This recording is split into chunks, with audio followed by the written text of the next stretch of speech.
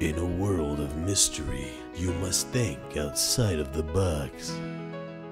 When something you desire is so close, yet so far away, sometimes fate will deliver Hey, Jana. that day you've been dreaming of. I- I'll call you. Hello, you.